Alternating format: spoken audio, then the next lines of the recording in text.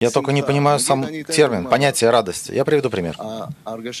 Ощущение радости и на материальном уровне становится очень затушеванным. Я не рад, например, просто вот я вложился в своих детей, и то, что де девочка получила хорошую отметку на экзамене, я не радуюсь, или, ну, не знаю, пример, на работе хорошо заработал, допустим. Когда-то радовался, сейчас радости нет. Вообще, весь это, все это понятие туманно стало. Ты слушай, слушай. Послушай, лучше будет. Чем будешь слушать себя, лучше послушай, что я тебе скажу. Что написано о радости?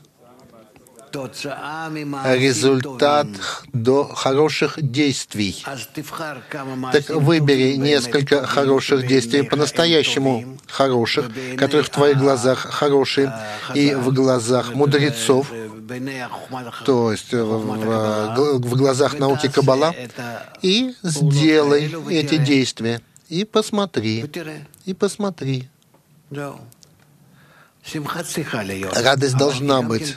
Но это тоже зависит от важности. Нет у тебя важности того, что ты делаешь. Я тебя понимаю. Ты проходишь такие этапы. Да. Так вот, радость от того, что я прохожу эти этапы, и я терплю, страдаю. Нет у меня радости, но у меня есть радость от того, что я прохожу такие этапы, в которых нет радости. Да? Есть много людей в мире, которые совершают тяжелую работу, и не несет им ни радости, ничего. Но они понимают, что без этого они не могут. Невозможно. И вот это вот осознание тоже несет определенную радость. И проблема — это гордыня.